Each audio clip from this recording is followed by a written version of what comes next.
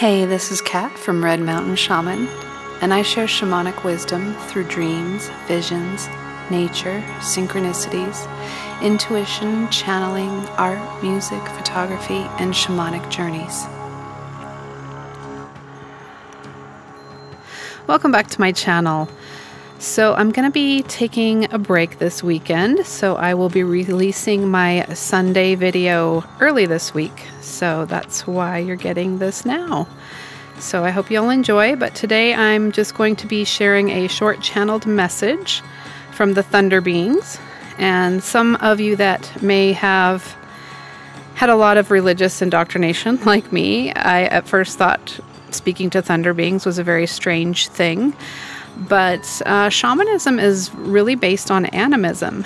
And animism is just the belief that everything has consciousness. And I believe that there is a spark of God that runs through everything, including the elements and the thunder. So the Native Americans like to call the element of thunder the thunder beings. And I feel very deeply connected to this element. And so that's who I'm going to be channeling today.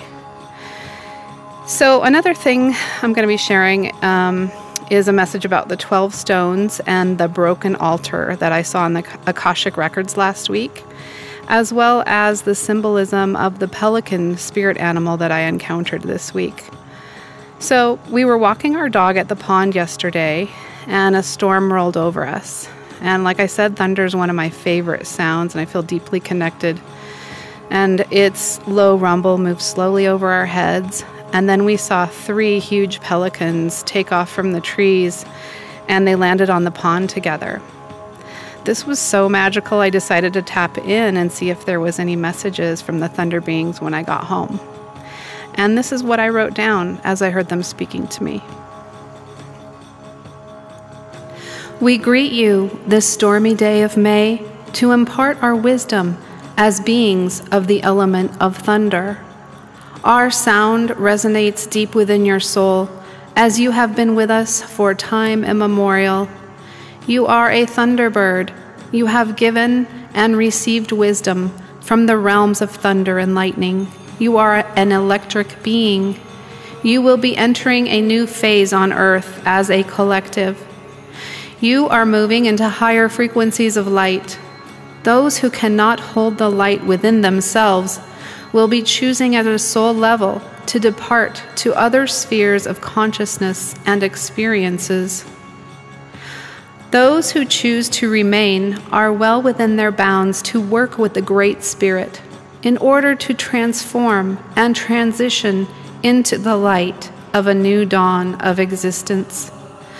Nothing can stop the light, nothing can escape the light, for a new timeline is at hand those with eyes to see are already on the golden road to rebuilding and regenerating and restoration of all that has been stolen and destroyed.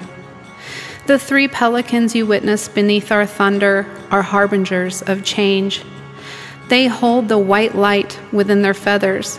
They hold fortitude and sustenance within their great beaks. Their great wings carry them to safety and solitude within the stillness of the pond. They break away from the pack and they unify together as three. They huddle in the rain of commotion. They carry the Christ light of the number three. They ride out the storm with grace and confidence. They are a family, a tribe, bringing in the light for those who are left in the wake of confusion and fear. They create a nest of peace and healing for those who cross their path. Stay the course of the red road and follow the divine guidance within your heart. Be the lantern and show the way. As religion crumbles, many will need a safe place to land. Hold out your loving arms to catch them with the wisdom and truth of the Alpha and Omega. Bring forth the Essene wisdom of Yeshua for others to behold. Get ready for the fall of the corrupt. For in the coming months, many will face the light of the one true Creator and stand under the spotlight for all to see. The tribes of Israel shall be cleansed and remembered.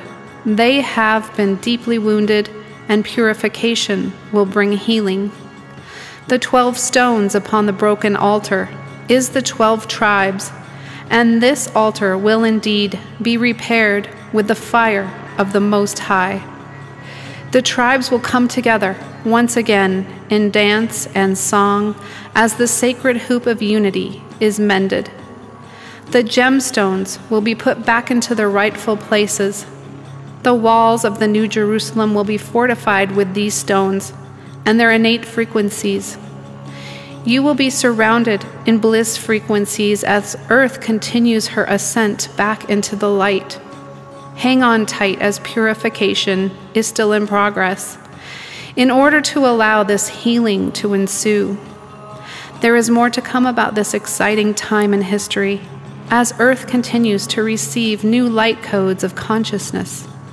And so it is. We are the thunder beings, and we bring you this message from the realms of light and sound. Aho and amen. Thank you, Thunder Beings. So, what they are saying is that um, there are going to be more people that are deciding to exit the planet, and for those who are staying, to be the beacon of light for them. And I decided to also look up the pelican, and they can be messengers between the earthly and the spiritual realms. They can symbolize family connection, self care, triumph over obstacles, revival, reinvention, prosperity, being on the right path, imagination and creativity, nurturing and sacrifice, finding innovative new solutions, thinking outside of the box, good luck and fortune, abundance, protection, adaptability, and resilience.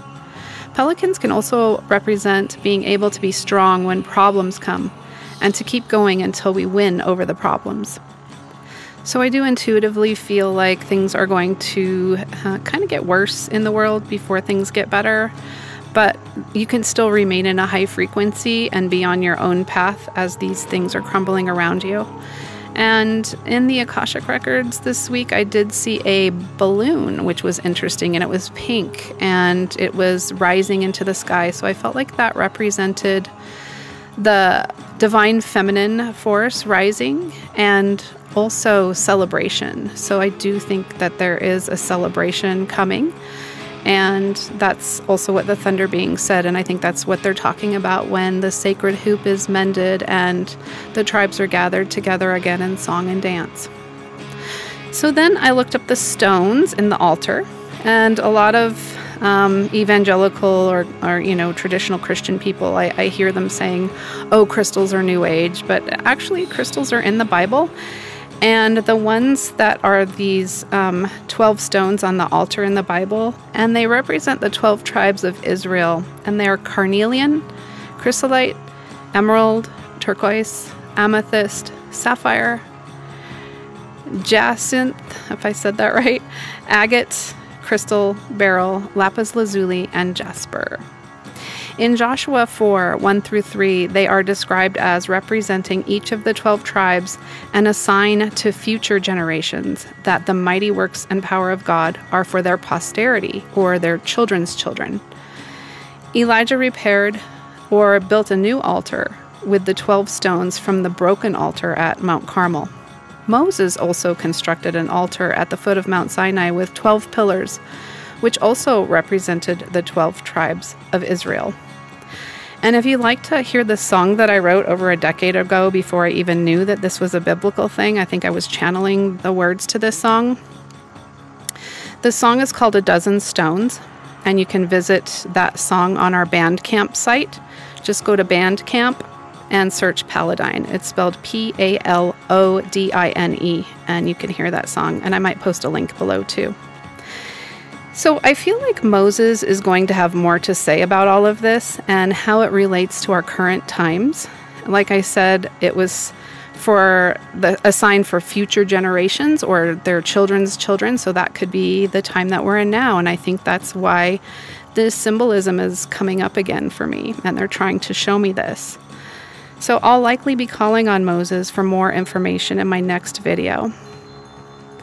So I decided to ask Great Spirit to um, pull a card for this video that went kind of went along with it, and it's from the White Light Oracle Guidebook from Alana Fairchild. And in the book, it says it's number 19 and it's called Solve Paludi. And it says, Tune into your heart and you will be able to find your way through any negative or toxic situation. Engage in self healing and space clearing. Commit to regular practices that help you connect to your inner light. Your light shall not be overcome by any darkness or negativity. Take time to clean your heart and mind of negativity by focusing on the divine beings that bring your heart joy. It is appropriate for you to desire your own personal and sacred space and access it daily. We live in an age of heightened environmental, emotional, and spiritual pollution. During such a world age, it takes more work to experience clarity, purity, and originality.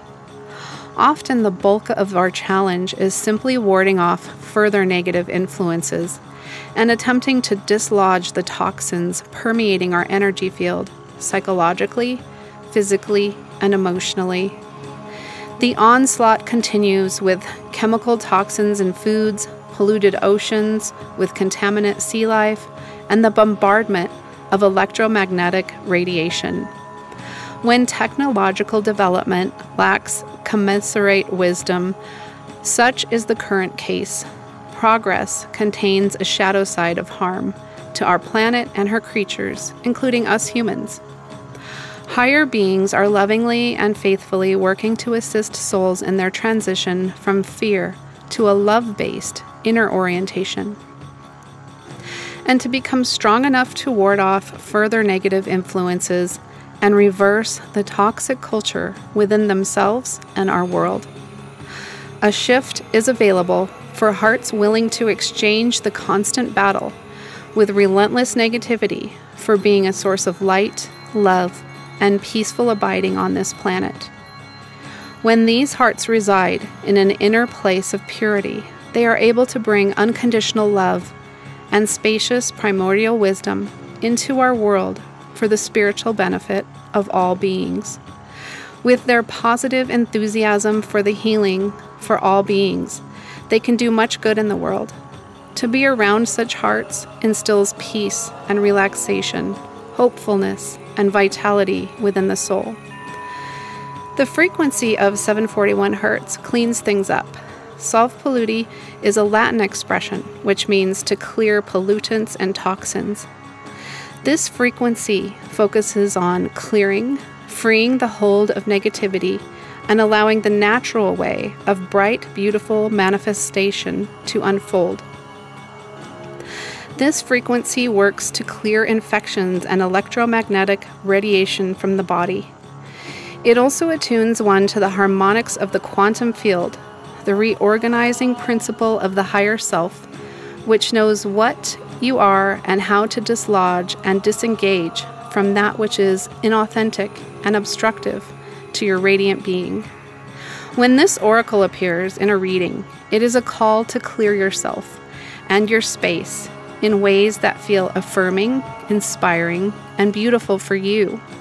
Trust that no matter how much gunk the ego driven actions of humans might generate, it is no match for the power of spirit at play in willing human hearts. May all such hearts join with Spirit and with each other to clear and bless all creatures for the greatest good. And now I'm going to read the healing process. And if you would like to do a short meditation with me, um, it might be good to wait until you're not driving or operating machinery, but I'll read that to you now. Bring your awareness into the present moment as you ground yourself by feeling your feet connecting to the earth. Let there be a feeling of pleasant heaviness as your feet pull the energy down from your heart and toward the earth. It is as if the feet can discharge unwanted energies, which the Earth Mother, with her alchemical skill of transmutation, can utilize as fertilizer for new life. Place a hand over your heart.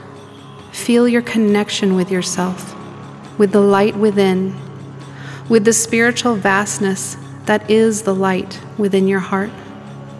See, imagine, feel, or intend that the heart connection to the spiritual light is becoming stronger and more powerful as you gently tune your awareness to it.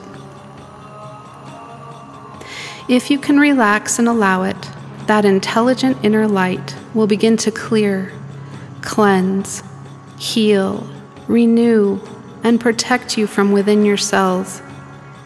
It will move out into all aspects of your life. You may feel this at a subtle level, but even if you feel nothing, you can trust that it is happening anyway. You can further empower your process with this prayer.